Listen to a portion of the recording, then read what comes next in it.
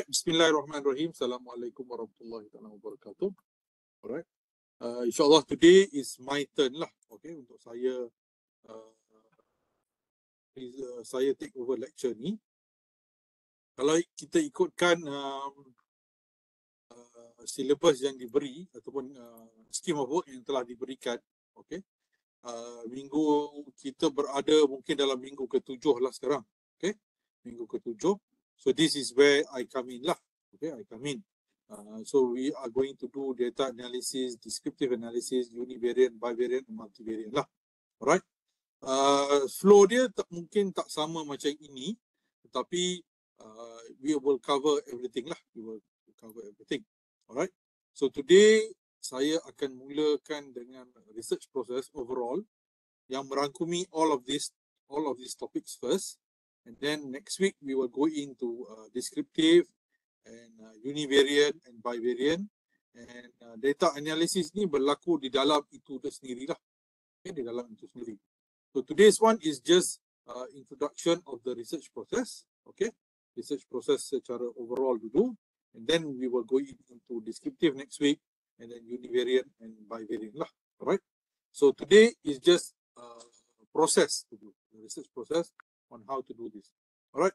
Uh, Ashikin, apa khabar di sana? Baik doktor. Awak dari fakulti mana pula? Saya sama juga. Uh, FSPU. FSPU Architecture juga? Uh, bukan. Uh, saya uh, saya juru ukur bangunan, BS. Oh, BS. Uh, tapi saya punya major untuk research saya more to FM, pengurusan fasiliti. Facility Management. Awak pun uh, lecturer jugalah? Ah uh, bukan, saya di JKR. Di JKR uh, Seri uh, HQ di KL. Di Bangunan Mara tu, sebelah Bangunan Mara tu. Uh, saya uh, yang Mara tu cawangan uh, arkitek. Saya di dekat dengan Bank Negara, Jalan Sultan Salahuddin. Oh, okey okey. Yang okay. menara baru tu. Oh, yes yes, pernah nampak. Cantik cantik cantik. Cik, cantik lah. Kita tahu Ah, kita saya tahu yang bangunan JKR tu so baru ni pergi KL dah lama tak lalu kat pertama tu tiba-tiba tengok eh ada satu bangunan baru kat situ. So, agak terkejut di situ dah. Okey. Berapa lama you dah uh, berada di JKR? Dah 11 tahun. Oh, so you have a lot of experience dalam uh, bidang uh, apa tu?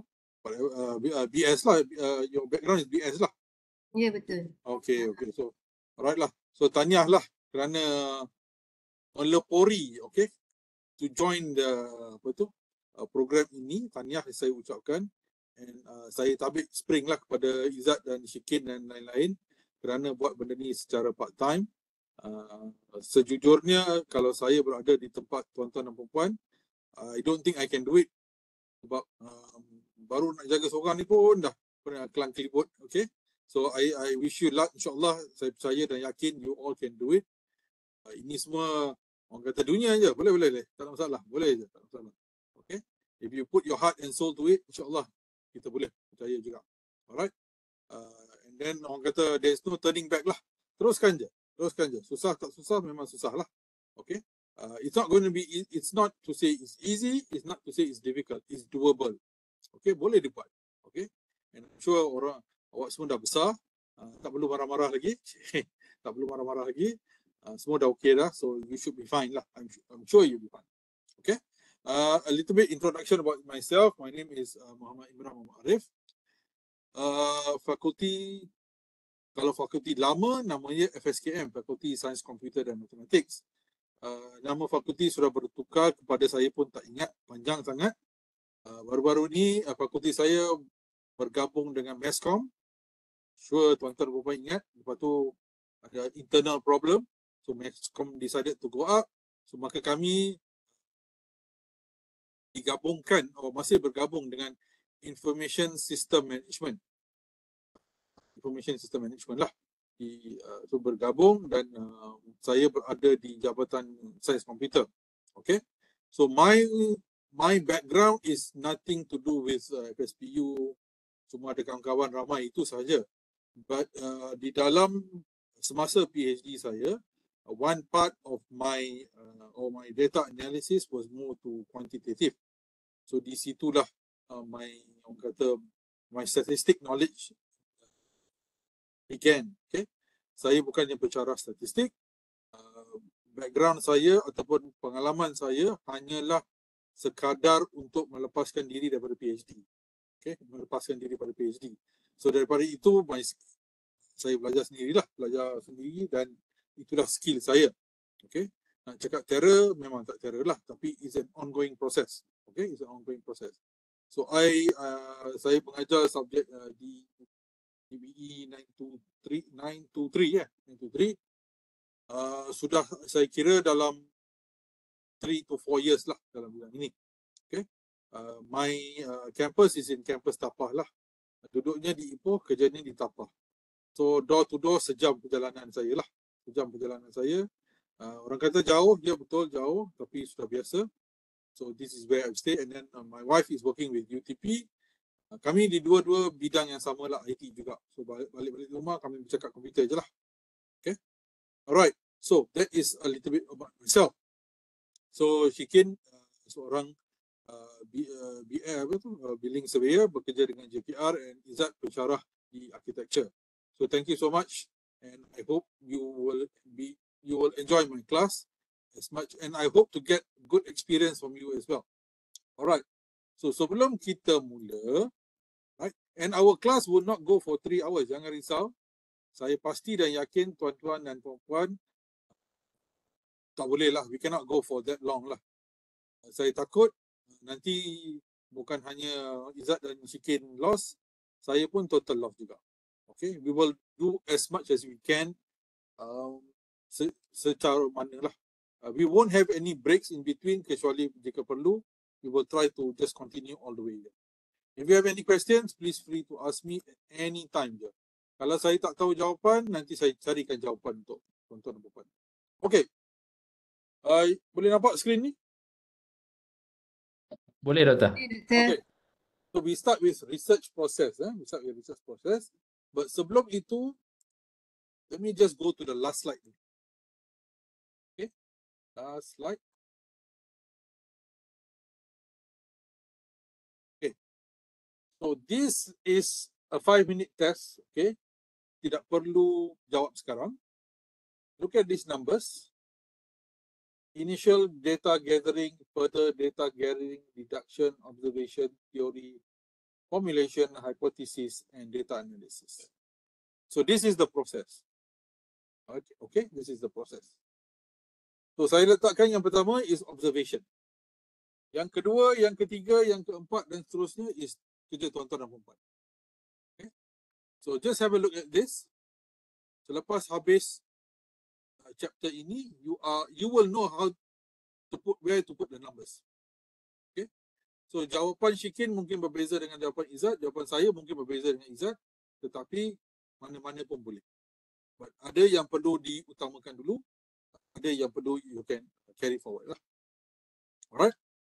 But basically this is the research process. So you might say this research process tak sama pun sebelum ni dengan buku-buku lain. Ya betul. Memang tak sama. But basic idea is the same. Okay, basic idea is the same. You start with research with observation. Because before you get to the problem, you observe first. Okay, you observe uh, based on your experience, based on your readings, based on uh, your past experience, uh, observation, perhatikan keadaan, uh, senario, uh, ekonomi kita, So based on that, you come up with certain questions. Based on that, you try to link with certain problems. Okay. So whether your numbers will be different from others, it's okay. Okay, it's okay. There is no right or wrong, but only for certain uh, elements, contohnya macam data analysis ataupun hypothesis formulation, ada cara-cara. There is, there is a way that you have to follow. Okay, there is a way you have to follow. All right, that is the, the end of it. Okay, so now let's go back and start where we, all right. So the, this project, oh, sorry, research process is to provide just a familiarity. So what we want to understand in this uh, chapter is just to familiarize process, method, and approach. Okay. So what are we going to do? How are we going to do it? Just to get ourselves familiarized. But research obviously cannot start with something you feel macam you duduk bawah pokok, you fikir, I think it should be done this way. But you have no proof, you have no evidence, you have not done any observation, you just cannot sit under a tree. Aku rasa nak buat something on education. Aku rasa nak buat something on this side, on this side. But what is the issue? People will ask you, so apa persoalan dia? What is the issue? What is the issue yang hebat? Sampaikan you want to look in, you want to look deeper into it. So you have to highlight this. Okay. And when you do a research, when you do a research, especially in the PhD level, it has to be rigor and relevance. It has to be, you have to think to the deepest level. Okay, to the deepest level. Okay. But as you go into the deepest level, banyak cabang dia. Banyak cabang dia. Kita ambil Shikin lah tadi. Shikin kata she wants to focus on FM, facility management. Okay, that's good. At least you have already a subtopic you want to look at. Banyak lagi topik-topik on BS, but she focus, she wants to focus on FM. I'm sure there is a reason for it. So you focus on that and you go deep into that. Okay, you go deep into that. Bukannya kita fokus, okay, sekejap on FM, sekejap on this side, sekejap on government buildings, sekejap on this side. Okay, so many areas. You get one area, look into it, go deep into it. And you also have to remember whatever outcome you get is not solving the real is to solve a problem, but it cannot solve the problem as a whole. Masalah dunia ni sentiasa akan berada. Masalah kebuluran memang akan ada. You're not trying to solve, you're not trying to solve the world's problem, but only you're trying to give evidence it can be solved using this method. boleh. Or you're trying to say that benda ini terjadi based on this. Okay, based on this. Alright, so upon completion of the subject, you should have critical thinking, ability to seek out and organize, evaluate relevant information, time management skills, communication skills, collaborative skills, and being independent. Okay, so these are the general skills that you need.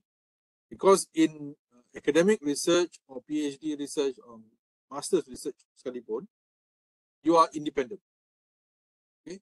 At the end of that period, you are the expert of that particular topic or that particular area. Yes, you might have all the uh, relevant uh, apa, working experience. Ada you pernah belajar, you pernah buat topik ini masa masters, you have read a lot that makes you a expert. But in academic world, it's slightly different. You have to explain everything with some sort of evidence. Perlu ada evidence.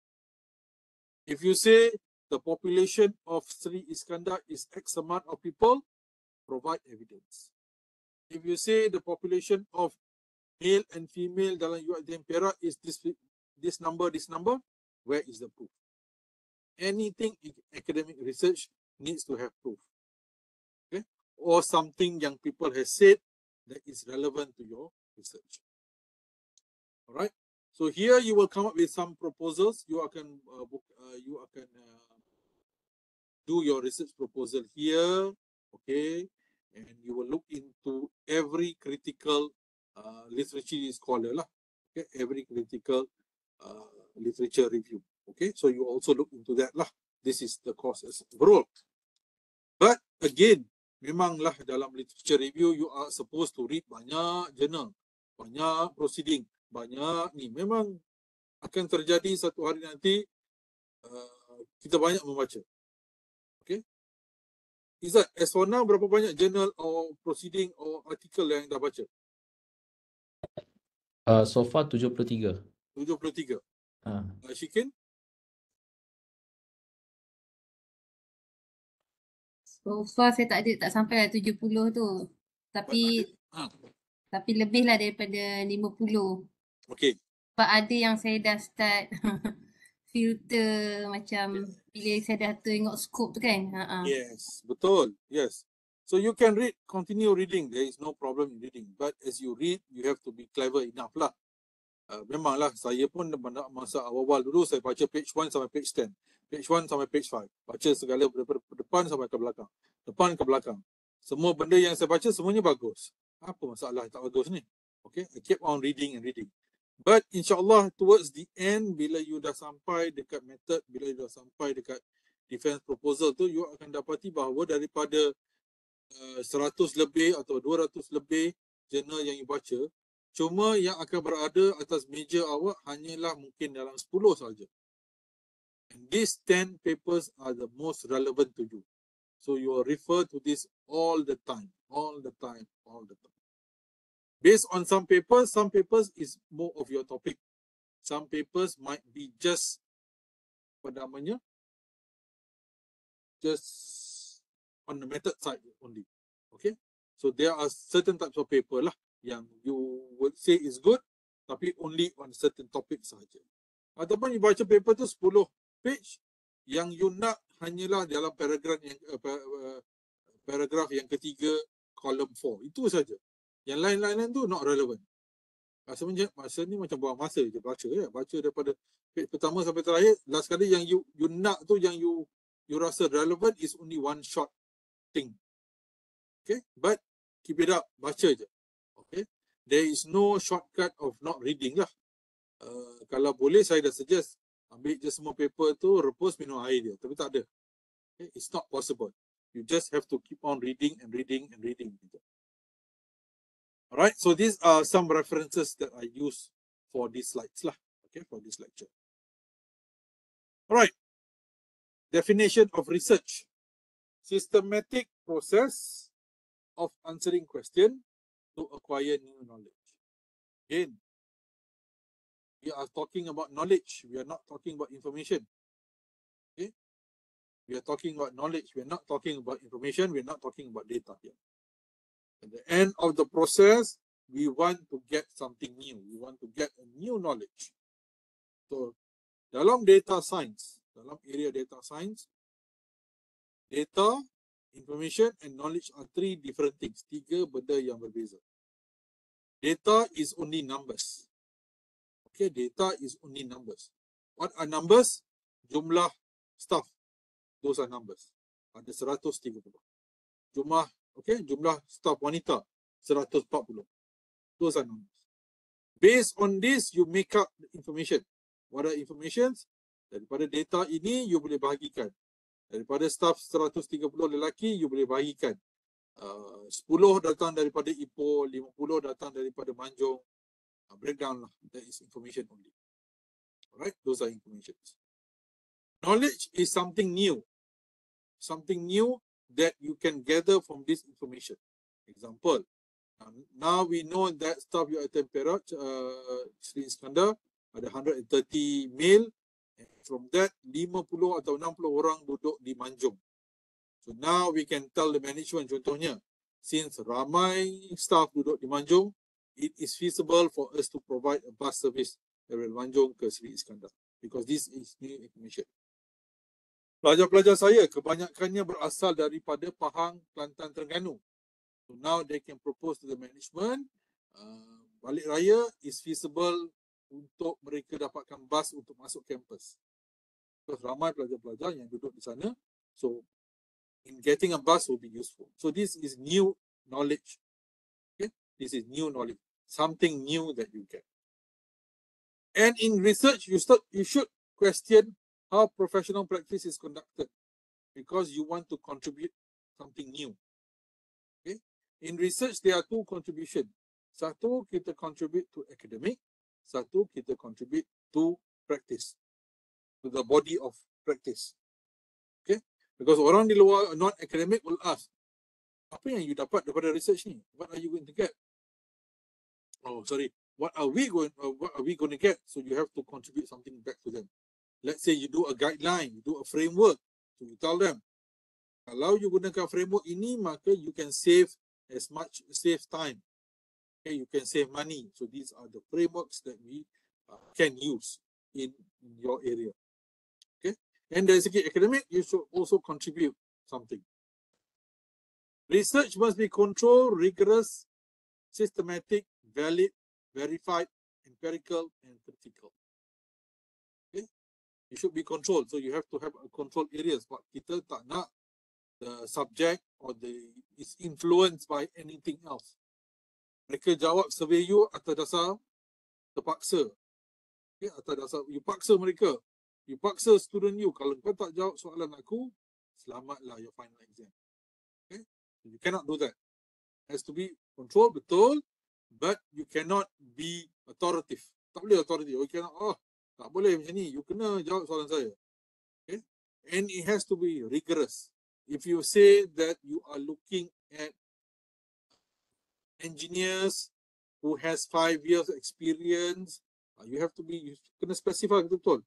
Engineers yang pernah bekerja dalam area ini, engineers yang ada experience area ini, or non-engineering background, okay, things like that. And and then it has to be systematic. It has to be valid. Cannot be based on media myth. Uh, media memang, oh, uh, media cakap ataupun uh, kita ambil dalam Facebook, si akak keli punya info. Uh, that is not tak betul lah. Okay, we have to get solid proof. Okay, and it cannot be on personal experience. Yes, personal experience is a stepping stone, but it cannot be cited. It cannot be saying that, oh, masa saya di sana dulu, saya, I did it this way. Yes, you can use your personal experience sebagai satu permulaan, starting, but it has to be supported by something else. It cannot be just on, based on my experience, masa aku kerja dekat sana dulu, aku selalu buat macam ni. Okay? You can start like that, but it has to be based on certain ideas juga. Kena relevant, kena kaitkan dengan certain theories, kena kaitkan dengan something juga. Baru boleh masuk. Right? And then we go into theory pula. Okay, theory. What is theory pun ada satu hal juga. Okay. Theory is a well-defined concepts and interrelationship. An idea expressed as symbols. So there are theories that you need to also look into. Some theories is relationship, association, temporal, causal. Kita ambil yang senang. Temporal means in a certain condition this happens. teori mengatakan bahawa in certain condition this happens. Example, cuaca panas. So teori mengatakan bahawa bila cuaca panas, orang banyak minum air. Okay, orang banyak makan ais krim. So we can say, we can we can also assume that harga ais krim ataupun jualan ais krim akan naik. Eh, buat assumption macam tu. Okay, we can try to do a relationship. Okay, something is related to another thing. Okay, something is related to another thing. The more you cycle, the more you lose weight. That can also mean causal effect. Cause of this, banyak exercise or you banyak cycle, you banyak lari, you banyak hilang, uh, you lose apa? You lose weight.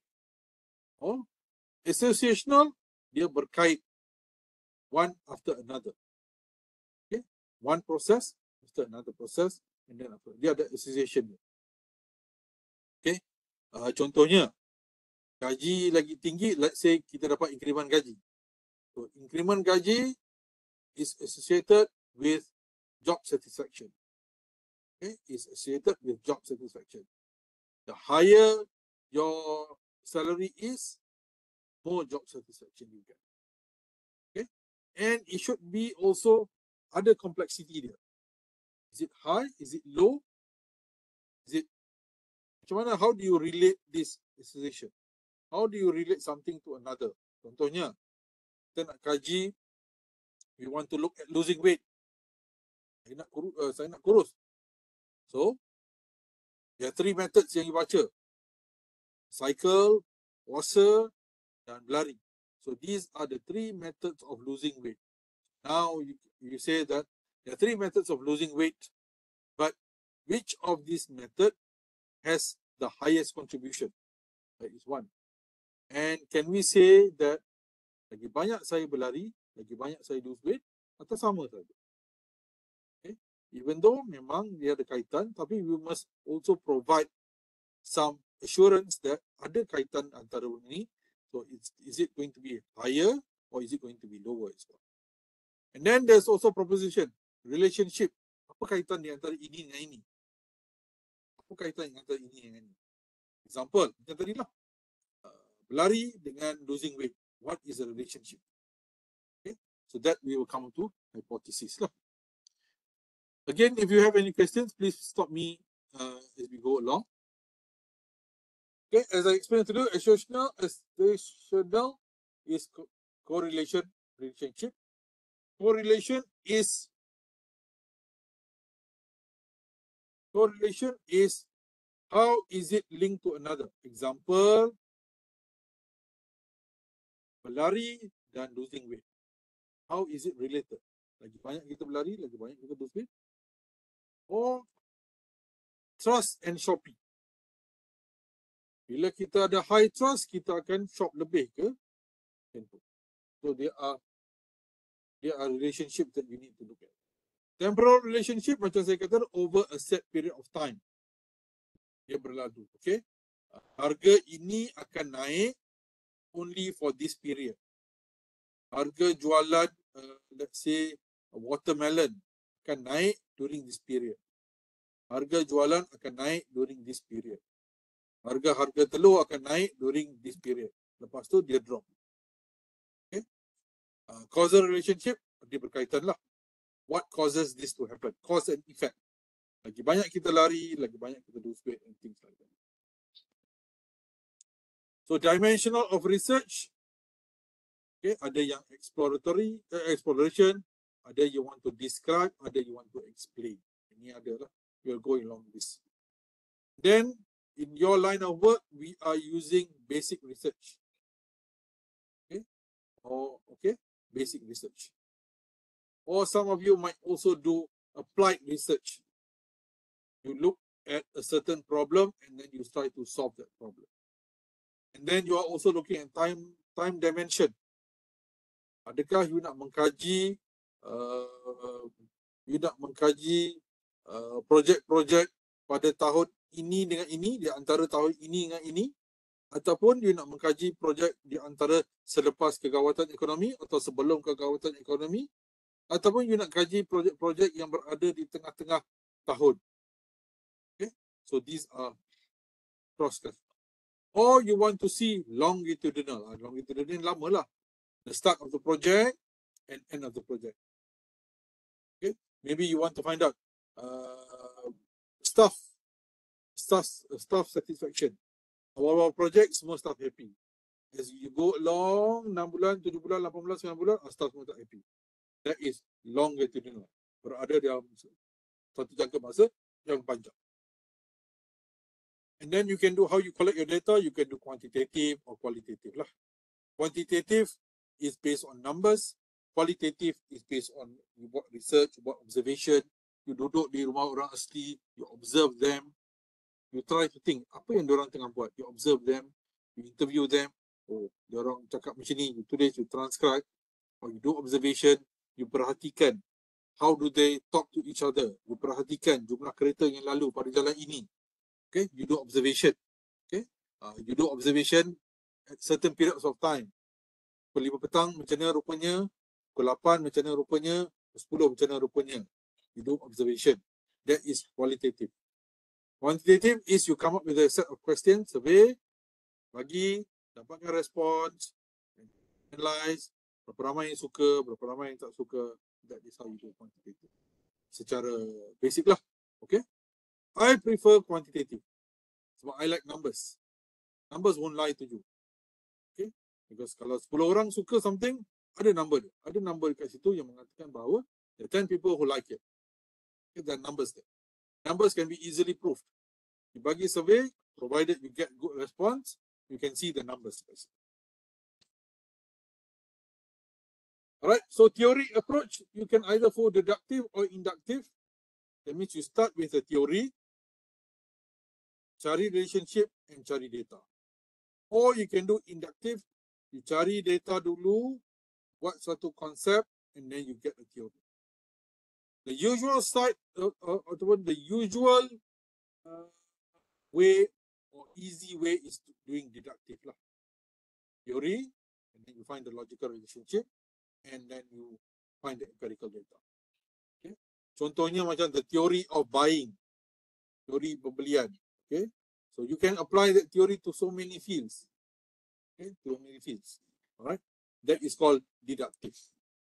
Kita kita bermula dengan deductive and then we go down into empirical. Empirical data bermaksud you do your data collection. That is empirical data. Right? So empirical data, deductive, arrival. Okay, kali ini satu contoh lah saya ambil dari internet. Right? So, uh, dalam ni macam CSI lah. Sampai dekat scene tu, okay, you try to think what has happened and you do the hypothesis dalam kepala you, okay, pencuri tu mungkin masuk daripada sini. Then you test the hypothesis, you buat observation, pergi tengok kat pintu, pergi tengok kat tingkap, and then you confirm. Kalau inductive, okay, you pergi kat crime scene tu, you look, right, and you think balik. Apa yang berlaku kat sini? Alright, you think. You should ada break in dekat rumah tu. Okay, now you start to think in your mind. Pencuri masuk rumah. So mungkin dia masuk daripada tingkap, mungkin dia masuk daripada pintu, mungkin dia masuk ni. But you have not seen the evidence. Ini semua your based on your experience saja. Now when you go in, you start looking around. Benda tu dah ada dalam kepala. Okay, that is inductive. And then finally you come with theory. Kalau deductive, you come in kosong. Okay, kita arrive dulu. Kita tengok dulu lah. Okay, we only know ada pencuri masuk. So when we come in, we start looking around. Then we develop hypothesis okay, pencuri itu mungkin masuk di sini. Alright. And then we buat observation. Ya betul. Dia masuk ke pintu, tingkap semua. Then we do the confirmation. Okay, ada tapak dia kat sini. Hello, are you all with me? Okay ke, Shikin? Is that okay? Far okay, doktor. Okey doktor. Ada seorang lagi baru masuk. Puan, uh, Puan Jana eh? Hello, hello? Boleh dengar?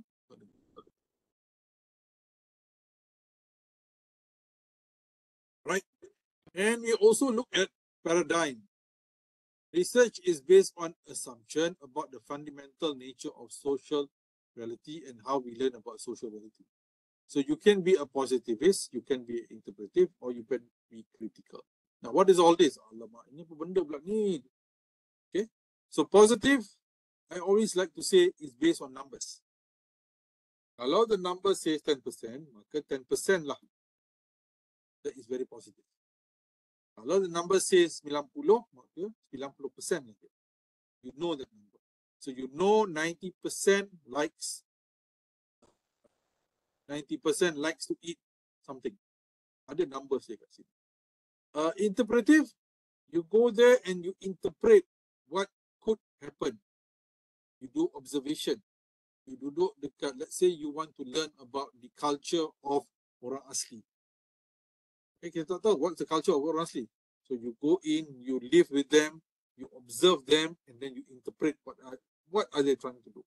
To interpret situ. Right? Kita interpret situ. Okay, that's how you do. Um, let me tell you a little story lah. Okay, kita masuk cerita lah sikit supaya kita mengantuk. Baru ni, uh, uh, raya baru ni saya raya di Melaka lah. Raya My wife is from uh, Bandar Hilir. Okay, raya di Melaka. Uh, saya sampai sebelum raya terkejut berlaku saya dah sampai lah uh, tahu raya terkejut so saya sampai awal. I came on uh, Friday. Friday lah. So sempat lah semain Jumaat di Masjid Bandar Hilir. To my surprise masjid itu ramai Bangla lah. Ramai Bangla. So mungkin masjid itu berada di Pekan so ramai Bangla lah kat situ.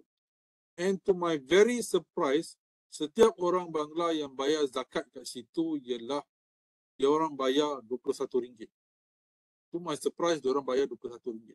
Harga RM21 ni kalau you tahu ialah harga nasi basmati. And saya yakin dan pasti mereka tak makan nasi basmati tapi they choose the highest kat situ.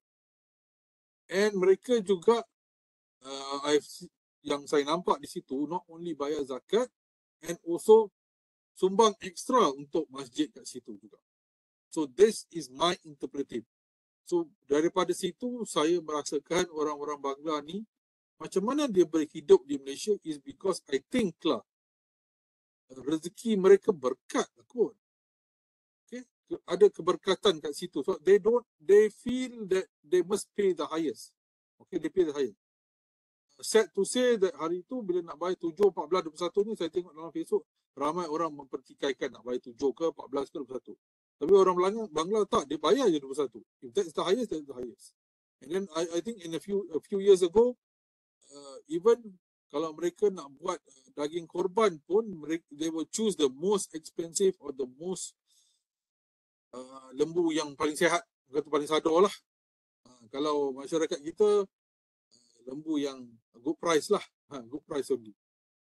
So based on that, kalau kita nak relate, you observe that and you buat interpretation based on what what can you interpret from this? What can you analyze from this? Okay. And if you are looking at critical pula, critical is you get the data, but yet you do another observation juga. Sebab you are saying dalam critical kita buat extra work sikit, uh, maybe you dapat 90% satisfaction. But it could be data yang tipu. Mungkin yang jawab tu semua yes je, semua no je. So you have to be very critical. For me, bila saya buat research, I like to be very positive. Because positive is very easy to write. Kalau 10%, 10%. Kalau 20%, maka 20%. If it's 30%, then it's 30%. It, cannot go wrong. Okay, it cannot go wrong. So these are some explanation, additional explanation. Alright. Now when you go back to your research process, ada macam-macam research process kat sini. Ada research process bermula dengan yang biru ni, topik, literature review, design, measurement, collection, data collection, data analysis, conclusion and interpretation. This is almost the standard one. Ada yang buat a bit more detail yang bawah ni pula. Define the topic, narrow down the topic, gather background information, create the question. Uh, number five, develop working thesis, find sources, cite and write. Okay. Yang bawah ni, yang bulat ni mungkin it's more to a journal paper lah. More to a journal paper. But yet you still can use it for your research. Uh, yang atas ni pula, yang human, focuses on the choose a topic, focus on the question, design the study, collect data, analyze, interpret, and inform others. Almost the same juga. Okay. So which one do you want to follow is up to you. I cannot tell you that awak wajib dan harus pakai yang bawah ni tak. Okay.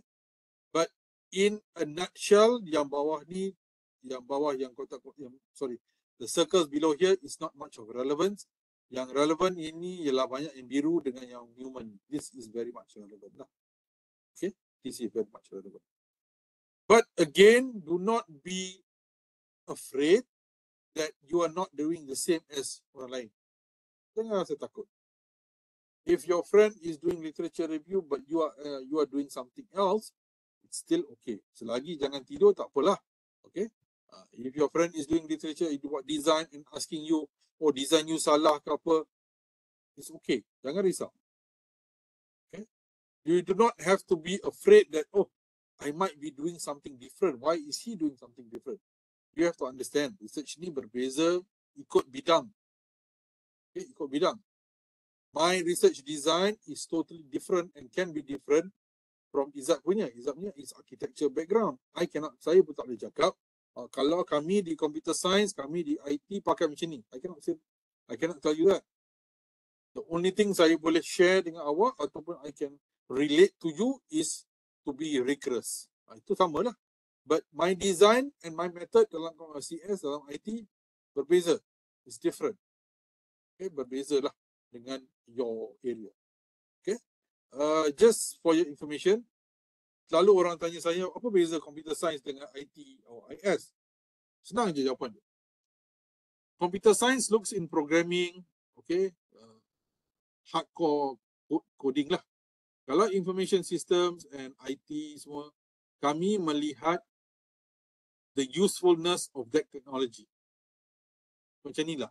Orang computer science makes PS4. Orang IT mengkaji PS4 tu. Apakah kebersamaan? How useful is this? Okay. An engineer creates a bicycle. The IS people will study how benefit how beneficial is that bicycle. That's what we do. Okay, so kita kaji uh, PS4 ni what what what this technology is there. Is it helping? Okay, is it helping ke tak? Alright. Uh, computer scientists will create a mobile app. Contohnya mobile app untuk uh, education. The IT guys or the IS guys will look at is it working? Is this mobile app useful? Yes, no. And then you come to the favorite lah. Yang ni lah. Favorite, antara favorite-favorite yang selalu diperkatakan lah. What is your problem? Kadang-kadang you pun tak tahu. Apa masalah research aku kan? Rasa dah betul lah. Baca-baca journal, rasa journal semua dah hebat lah. Saya ingat lagi bila when I was doing my PhD in Australia dulu, my supervisor Mak Saleh, kita pun dah tak faham Mak Saleh tu. Mak Saleh cakap apa pun tak faham. Uh, kalau dalam bahasa Melayu tu kita kata make, make understand je lah. Okay dia tanya, okay, fine. What do you think about this journal? So kita baca lah daripada page 1 sampai page 10 and then we kata, I think this journal is okay. Then he told me, if the journal is okay, why why do you want to do your PhD? Tak dah. So you have to be critical. Rasa macam dah hebat lah journal ni. Semua journal saya baca. Hebat lah. Baca yang towards and then we start looking at a limitation. Macam tu. Okay? Limitation. Alright. So research problem is a statement about an area of concern, condition to improve, troubling question, or in practice that points to the need for meaningful understanding and deliberate investigation. Okay. What conditions needs to be improved. Right. So kita baca, and then kita baca lagi, and then kita baca lagi. So this problem can happen. It could be because of the current scenario. It could it could be based on political issues. Okay, it could be because of the weather. The same research problem, kalau kita tengok 10 tahun lepas, mungkin bukan problem. Tapi setelah ekonomi, ya, betul, uh, our political scenario berbeza, our economic scenario berbeza, then it became a problem. Okay, then became a problem. Saya nak buat mata semua merah. Daripada sini pun ada buat mata merah.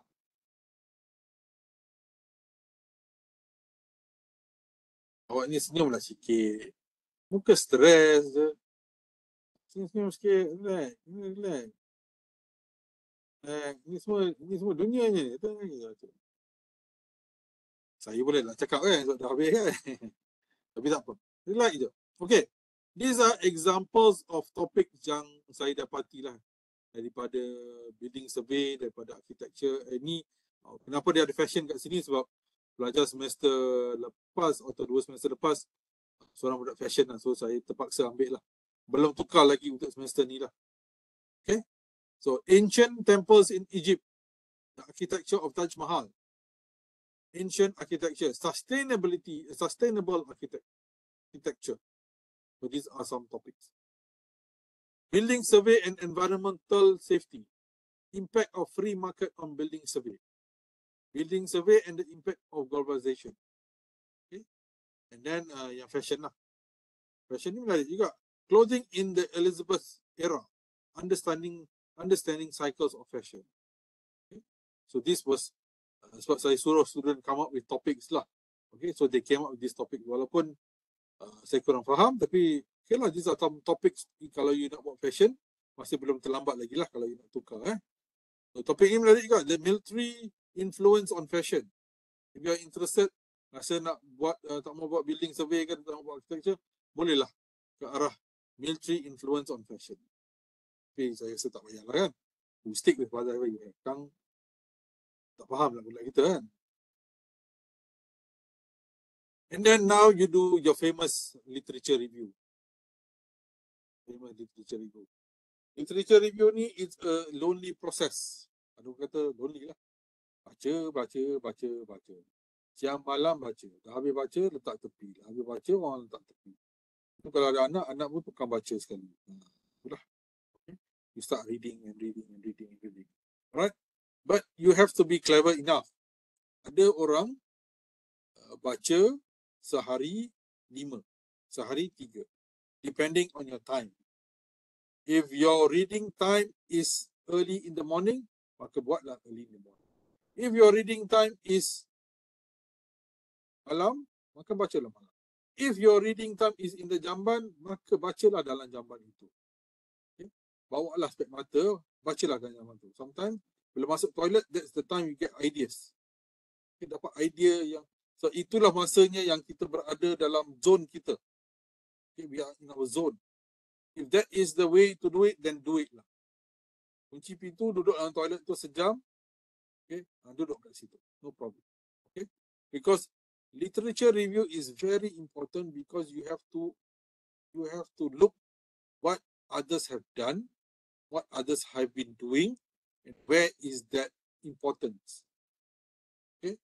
Some people say you have to read the best literature review is five years and below. So this is 2023 lima tahun ke bawah. Betul? Lima tahun ke bawah. But there are certain points macam dalam journal dalam area you yang you have to go back maybe 10 years okay? You have to go back maybe 15 years. So sebab that the idea started then okay? Maybe you're talking about sustainability. So you kena cari sustainability ni bermula tahun bila? When did people talk start talking about sustainability? So you have to go back to that era dulu. Let's say people started uh, venturing into sustainability mungkin 10 tahun lepas. So you have to go back to 10 years to get the proper definition and then maybe you can apply it back to the last five years. A literature review is not simply a shopping list of what others have said. Ali cakap, Abu cakap, Ahmad cakap. Okay, seorang dah cakap dah. Awak cakap apa? Okay. Yes, memang kita akan bermula macam itu. Uh, Ali cakap, Abu cakap, Ahmad cakap. Ali says sustainability is XYZ. Ahmad says sustainability is ABC. Abdullah says it's sustainability is this. But you have to synthesize to get the actual concept. Okay. Literature review is organized according to your objective. Okay, objective. It is conceptually organized, synthesized, which ultimately provides a rationale for further research whether by you or by others. Okay, it has to be very, very detailed. It has to be very, very relevant. Okay, so when people read your literature review, when your examiners read your literature review, they have to have confidence young. You have explored every possible journal or every possible research area. You have explained all the terms and there is something good about your research there is something good about your research. So kalau saya bila saya evaluate PhD thesis, obviously yang pertama saya akan tengok dia punya title. Okay. So once I get the title in my head, I will start reading chapter one. Lah. Baca chapter one habis. Then daripada chapter one, I will start thinking. Kalau chapter one ini, kalau topik-topik yang menarik lah. Mesti dia cite ABC. Dia cite, mesti ada cite beberapa orang penulis terkenal. So immediately saya akan tengok reference. Dia cite tak? Oh betul dia cite. Dia cite lima reference ini. Okay. That means I have confidence that this student has read all the relevant research or all the relevant authors. Okay. So based on the topic, sometimes your examiners will know. Oh topik ini mesti dia cite orang ni. Mesti dia cite orang ni, mesti dia cite orang ni ada tak yang decide dalam your reference? Kalau ada, memang cantik. So that means you have already you have already explored guru-guru dalam area ini. But kalau tak ada, then it's a question mark. Dia dah study habis ke belum ni? Dia dah baca habis ke belum? Okay. When uh, examiners baca thesis, mereka tidak akan baca daripada chapter 1, 2, 3, 4, 5. Tak ada.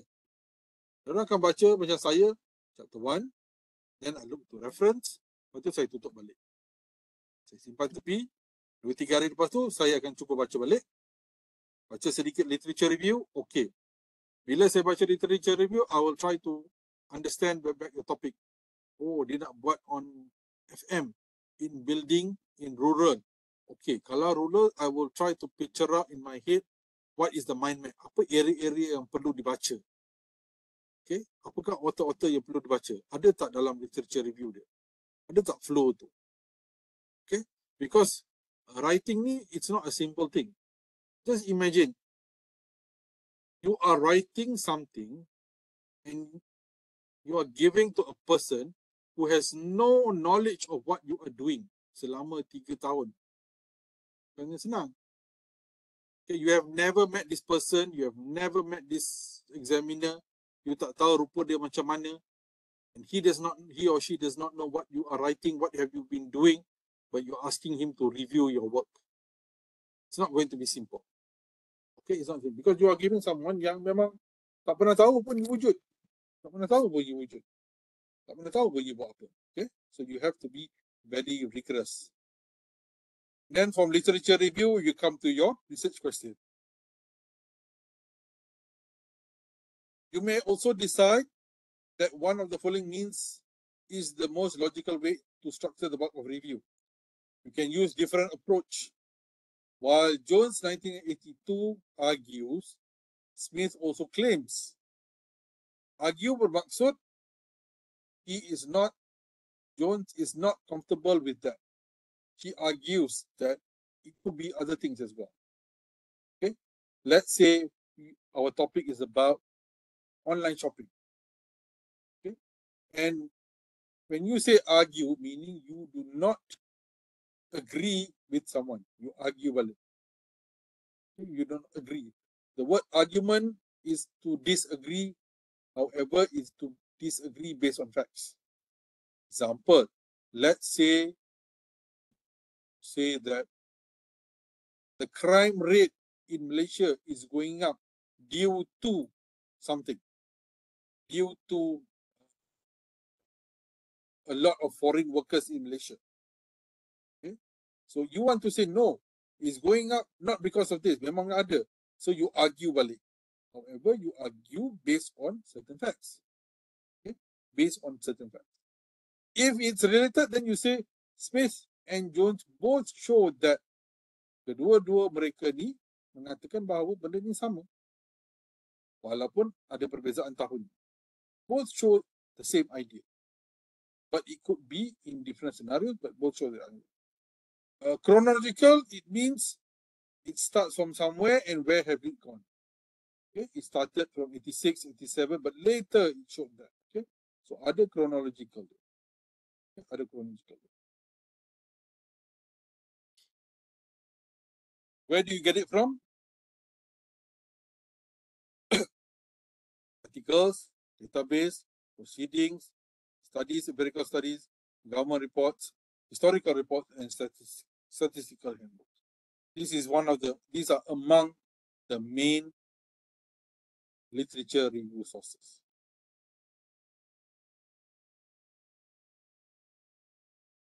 These are some of the journals. Mungkin relevant. Yang ini saya tanya kawan-kawan lah. Journal of Facility FM, Journal of Facility Building Survey, uh, Malaysian Research Construction Journal, International Journal, okay, lah. Okay, these are some of the uh, journals which are relevant lah. Okay. Research objective. So you start with the question. Okay. Have organizations introduced early retirement? You want to identify. Then you want to describe, you want to explore. So these words are all perkataan identify, describe and explore means you want to first find out dulu. You want to identify the problems. And you want to describe them and then you want to explore. Normally, kebiasaannya, research objective ialah benda-benda yang boleh diukur, can be measured. Ada numbers dia.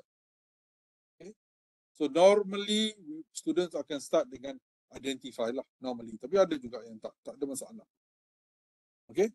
But safe is to identify kenapa is because nak want to explore want to explore dulu ada juga macam tu research objective are specific actions activities to answer research objective indicates what we are trying to get from the study or the expected results Itu yang kita cuba dapat. We want to study about facility management. So what are we trying to get? Out of it? Research design, how do you intend to carry? Macam mana you nak buat design? Research design is how you want to do it as a overall, secara keseluruhan. Research method is different, research design is different. Dalam research method, we can have beberapa method. Sorry ya. Dalam research design, we can have a few methods. Research design overall, mula-mula baca journal, lepas tu synthesize journal, question, problem, objective, design questionnaire, buat survey, analyze, interpret, and result conclusion. That is the overall. But method, okay. Dalam method quantitative, dalam uh, method untuk analyze data, saya menggunakan SPSS dan juga uh, PNS. Okay.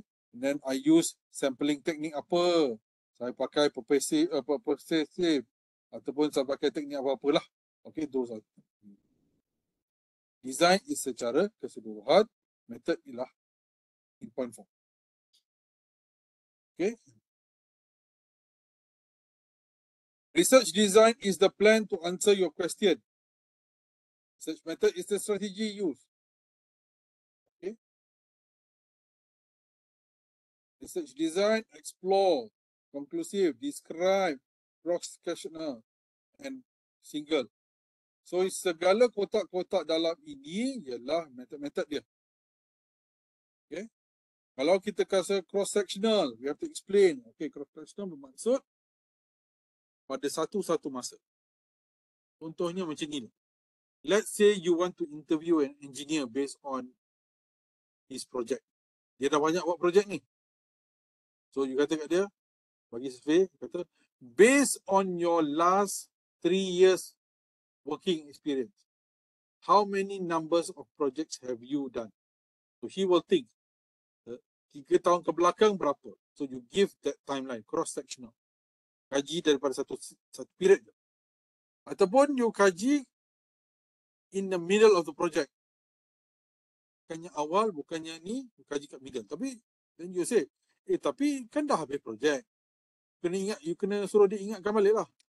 You have to have questions like, based on your last project, during the intermediate period, interim period, what was your major concern? Macam tu. Based on your last project, based on two years ago punya project, during the interim session, what was your major concern? So he knows that, the respondent knows, saya kena tengok projek yang dua tahun ke belakang, tetapi dalam interim period, yang tengah-tengah tu period.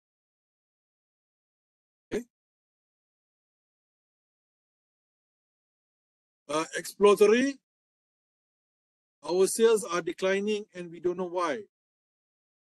Would people be interested in our new product? Okay. Describe and causal. Causal yang paling agak young. We buyers purchase more of a product in a new package. So this is based on what is the problem first. We'll find find out. Alright, these are exploratory. Yang ni semua sama lah macam tadi. So in exploratory research, we have to be again clear. Okay, what do we want to explore? Apa yang kita nak explore kat sini? Adakah kita nak explore on this topic or kita nak explore semua? Okay, again, research, even if you're doing a, a exploratory research, it has to be rigorous, it has to be focused. You cannot say that I want to explore the world. Itu bila nak habis. You want to explore FM. Okay. Specific. FM kat mana? Public, private. Or you want to explore FM projects. Okay, fine. Berapa tahun ni project? Tahun ni? Current? Five years ago? Ten years ago? Okay, now you say, let's say five years ago. Okay, five years ago. Bahagian mana? Awal projek, akhir projek, tengah-tengah. Which part? You have to be focused again. Okay. Kalau tengah-tengah, then your question would be, tanya respondent, based on your last five years project. Kalau Dia ada banyak projek ni. You can specify, you can specific. Uh, saya nak mengkaji on the last five years. Because it might be different. Lima tahun lepas punya projek and lima tahun kemudian punya projek might also be different. Okay. Descriptive is based on numbers. Okay, berapa ramai customer you, berapa ramai staff, berapa banyak project. These are numbers only. So, daripada numbers ini, we are going to do something as well.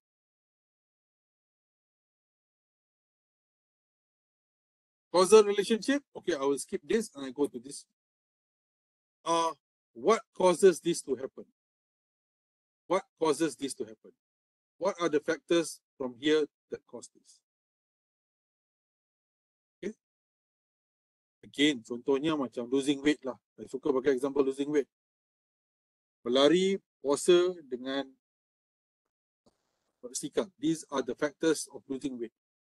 But again, is it a causal relationship? Yes. Adakah kita akan kata the higher I cycle, the more I will lose weight? Okay, so we have to. And then we also cannot have spurious, saya tak pandai uh. Spurious correlation. Spurious correlation is a correlation yang terjadi yang tak ada kaitan tapi terjadi. Example, a city's ice cream sales. These sales are highest when the rate of drowning in the city swimming pool is the highest. Orang banyak mati tenggelam tapi ice cream price naik. Eh, uh, apa? Jualan cream naik. Apa kaitan orang mati dengan harga jualan cream? Okay. Tapi kaitan dia jelas. Let's say the ice cream sales cost drowning would be to imply a spurious relationship between two. Dia sebenarnya macam ni. Bila ramai orang, bila orang kata bila cuaca panas, orang banyak beli aiskrim. Okay. So harga jualan aiskrim ni. Itu satu senario. Bila cuaca panas, orang ramai pergi berenang. Bila pergi berenang, mati. But you cannot kaitkan jualan aiskrim naik, maka yang ni pun naik. Yang tenggelam pun naik, yang jual aiskrim pun naik. There is no relationship. But secara kebetulan saja. Cuaca panas, aiskrim naik. Betul. Cuaca panas, orang ramai berenang. Betul. Dan tenggelam. But they cannot be a relationship between aiskrim dengan orang tenggelam. Apa kaitan dia? It just happens. Be like that. That is called a spurious relationship. Tak ada kaitan pun. It just happens like that. Okay? Kalau kita ambil dalam akademik senario, result naik, result student naik, harga makanan pun naik. Apa kaitan result naik dengan harga makanan naik? Okay, there is no kaitan. Tapi mungkin bila result naik dengan harga makanan naik, mungkin uh, atau keuntungan makanan naik, mungkin mungkin student banyak study malam-malam, maka dia beli burger banyak-banyak, harga burger pun naik, jualan burger naik. And then student yang belajar malam-malam ni, result dia naik. So kita tengok eh burger sales going up, kita tengok budak pun pandai. Eh apa kaitannya? Adakah kita bukan kata makan burger boleh jadi pandai? Tak. Just hanya kebetulan saja. Okay, kebetulan saja. Right? Contohnya macam sekarang kita ada kafe dekat apa? Di Iskandar, dekat kopi. Okay, ramai pergi dapat kopi. Oh, ramai dapat kopi. Minum-minum kopi, study kat situ. Yang budak-budak yang study dalam kopi dalam kafe ni ke- kebetulan budak pandai-pandai. Semua result power power semua. So adakah kita mengatakan bahawa minum kopi bagus untuk jadi apa pandai? Okay, there is no thing. Hanya kebetulan sahaja. Okay, hanya kebetulan sahaja.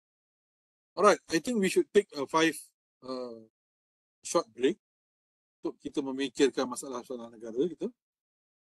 Right? So now is 9.20. Uh, let's start back in 9.30 boleh? Doktor. Boleh doktor.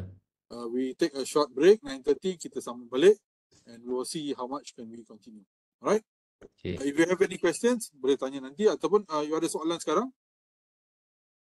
So far belum ada doktor. Belum ada lagi. InsyaAllah okey.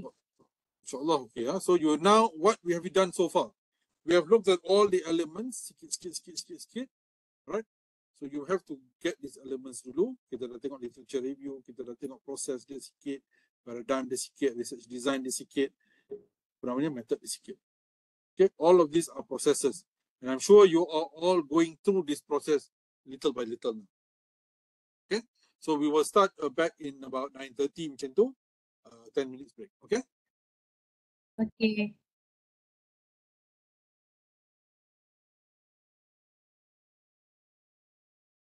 Right, let's continue back where we left off.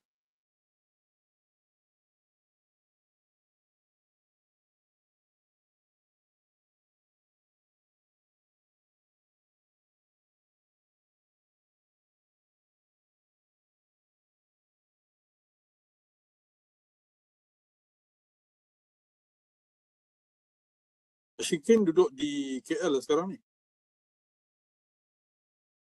Ya, doktor. Which part of KL are you staying? Uh, Bandar Menjelara. Dekat dengan Kepong. Kepong. Oh, okay, okay. So every day daripada sana ke tempat kerja buat uh, 40 minutes macam tu? Yeah. Oh, tak sampai sebab uh, kalau pakai Duke 2, tak sampai setengah jam lah, 20 minutes. Kalau jam pun. So far. Oh, ada Duke 2. Duke 2 tu. Ha. Sebab dari rumah saya keluar jalan besar terus naik Duke 2. I see, I see. Hmm. Okay. Saya asal Gombak. Duke, dia dekat Duke jugalah. Tapi Duke satu lah kot. Okay. So let's continue where we left out. Okay, okay, okay. Now let's go into this one. Population versus sample size. Population versus sample size. So from this figure, senang tu. Population is the whole population, but sample size is just a bit of the population. So does it mean that population ialah semua rakyat Malaysia? No, it does not mean that way. Population can mean the number of engineers, but you be specific civil engineers. Okay, so a population can be semua engineers, For example, you only choose engineers or civil engineers working in contractor class A companies.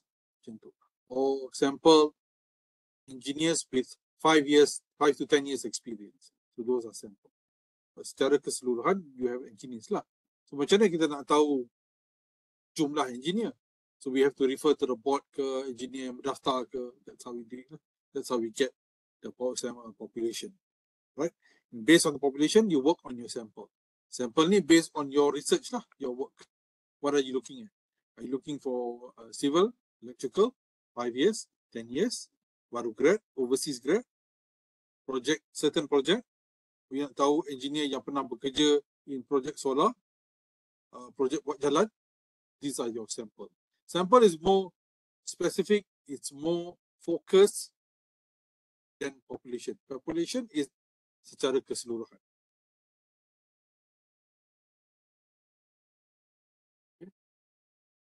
Secara keseluruhan. Alright. Uh, so population measurable quality is called parameter. Okay, parameter. The population is a complete set. Uh, can you just hold on for two seconds? Just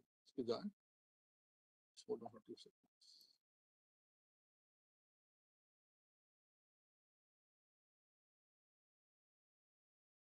Sorry.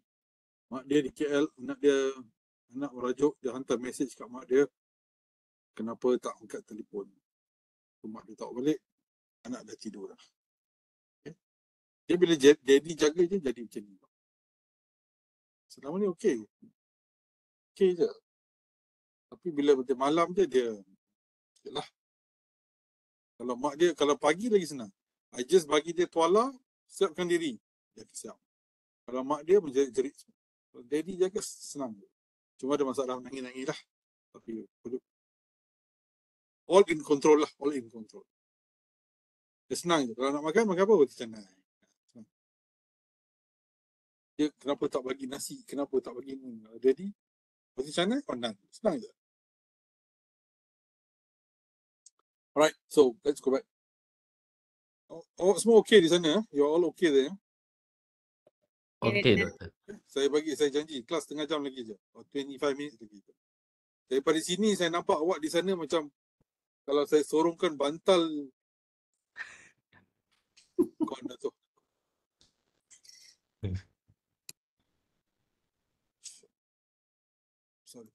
Sikit nampak mengantuk.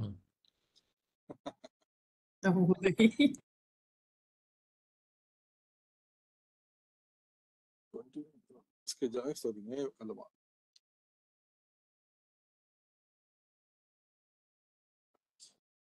Uh,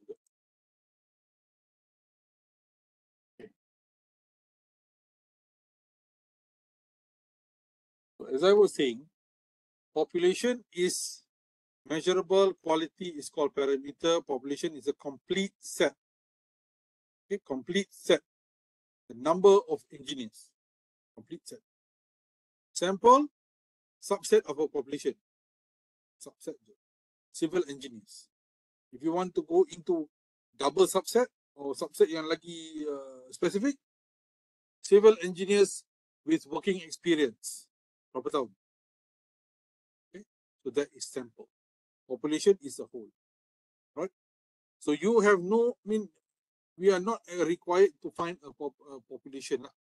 Okay? Kenapa kita ada sample and kenapa kita ada population? Based on your sample, you're able to generalize balik on your population. You boleh buat generalization. But you have to you have to get a good sample lah. Let's say betul civil engineers berdaftar di Malaysia or di Kuala Lumpur is about let's say lah senang kira 500 orang. Daripada civil engineers yang berdaftar ini uh, you are looking at those people yang bekerja di syarikat kelas A. So ada 100. Based on that, can you generalize balik okay, the engineers back to the population? That is very important. So when you want to determine the sample size, accuracy, number of different variables, and your resources. But because you also look at this, berapa set variables are you looking at? How many variables are you looking at? What are variables? Variables are elements that you are looking at. Certain certain elements that you're looking at your research. Losing weight. You are running. You are element running. You are? Cycling. You are looking at fasting. So these are the elements. So the number of elements also determines your sample size as well. And the most importantly, resource and time lah. Okay, kalau kita nak cari semua population kita, tak payahlah. Okay, because we have so many, you have no time to get 500 orang. Okay, and you might find it even kalau you jumpa, you have time, you might find that the answers that you get are not valid sometimes. I'm sure some of us bila jawab soalan survey, yes, no, what better macam ular. Well, that is normal. Okay, that is why bila masuk survey, people say don't do too long. Jangan buat sampai 60 soalan. Walaupun 60 soalan tu dia kata adalah satu soalan half a minute. It's about what, half a minute 30 soalan. Lepas tu nak fahamkan bahasa 30 soalan, 60 soalan, it's very long. So that's why research, yes, betul. In the 80s, in the 90s, you have long surveys.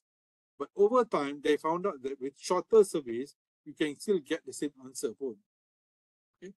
Satu elemen, mungkin satu variable, you pakai dalam 3-4 soalan, dah cukup memadai dah. Okay. And then you also have language barrier, so you have to think of all this as well. So data collection is a few types. You can do survey, poll, interview, okay, focus group pun boleh juga. What is focus group? Focus group is you gather a set of people, expertise, then you give them a topic, you ask them to discuss, the moderators. Voila. And based on that, you observe them. Let's say you want to find out kepuasan hati pelanggan. A topic. So you talk about this. Orang semua- ni talk about this. Then awak pilih orang moderator. But you as the researcher you cannot be there. Then you observe the way they talk.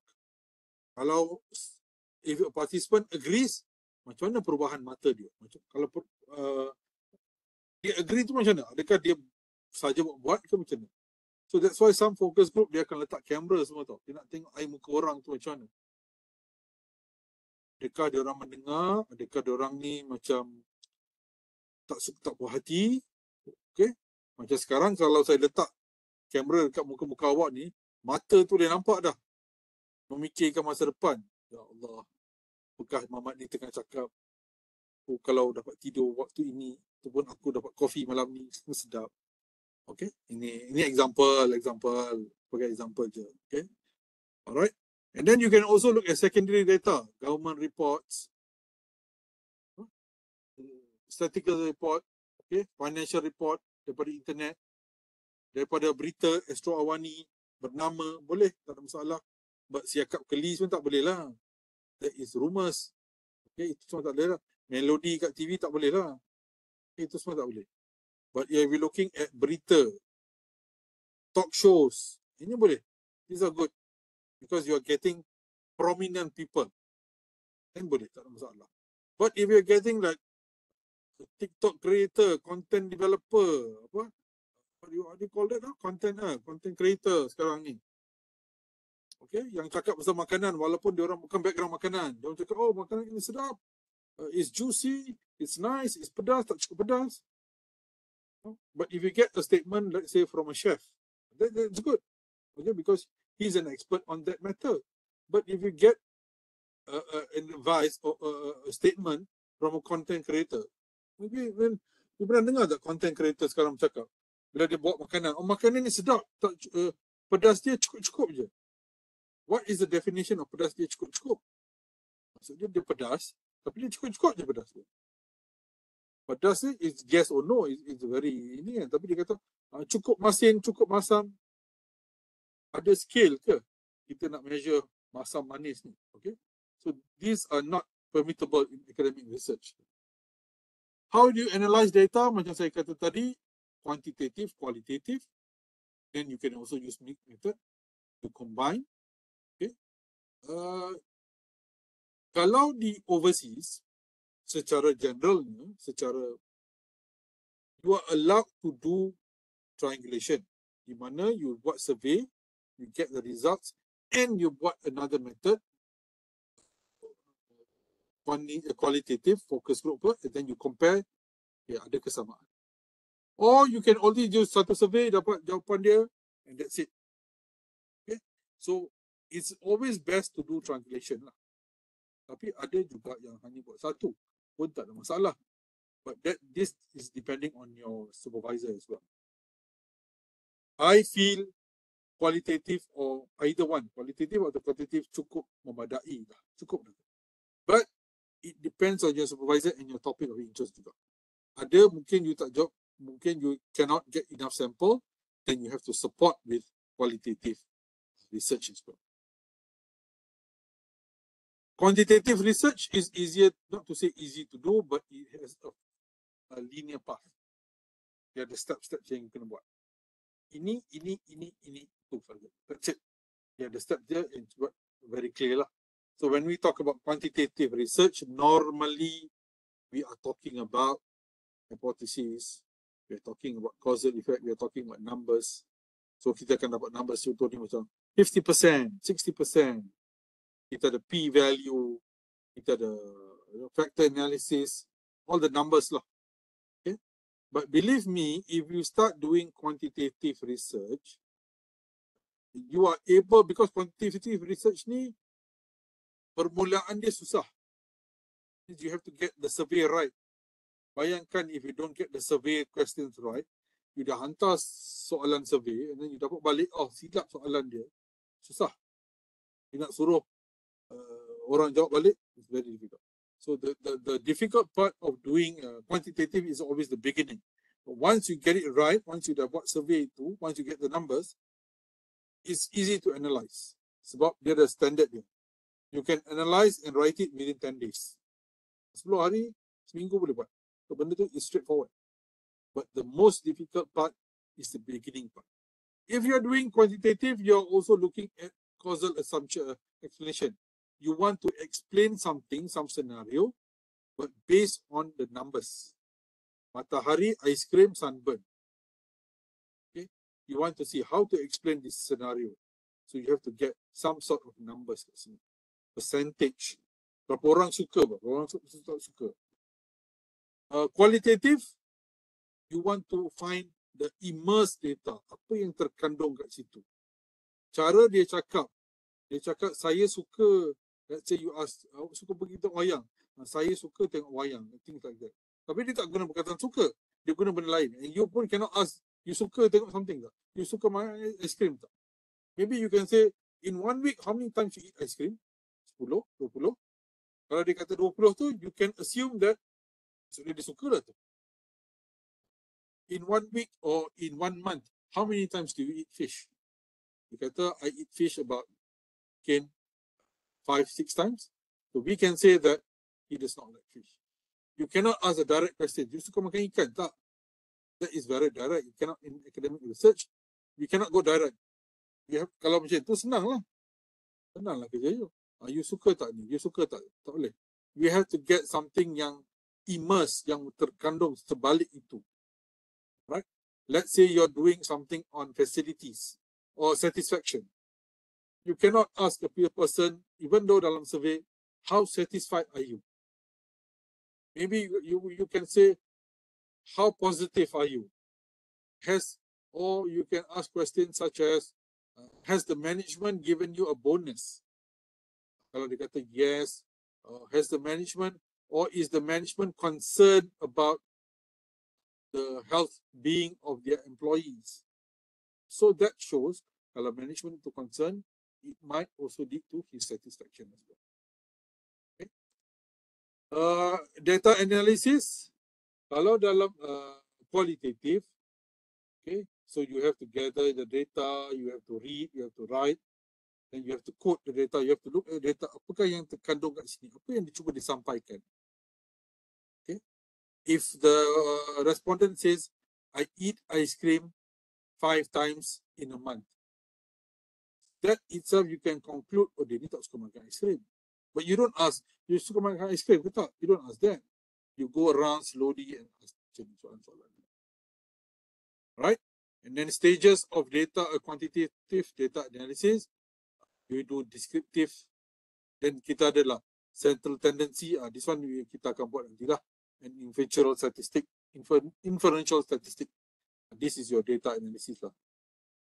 Yeah, inferential statistic is based on the data kita cuba infer. We try to make sense. If they say that they eat ice cream 30 times per month, sah-sah lah kita boleh kata dia ni suka makan ice cream rupanya. We try to infer that. Or let's say in one week, how many times do you eat nasi kandar? Kata once. Or in last six months, how many times have you visited the doctor? Or dia kata last six months, baru sekali. So we can infer that this person is healthy. Boleh infer macam tu. Right? Uh, research method, macam tadi saya kata, ada survey, ada eksperimen, ada case study dan macam-macam lagi lah. Alright? So this is the method. Yang tadi semua is just the design. How are you going to do it? What are you going to do? Method is more specific. Okay? Yes, you say you want to do qualitative data. Tapi macam mana you nak buat qualitative data?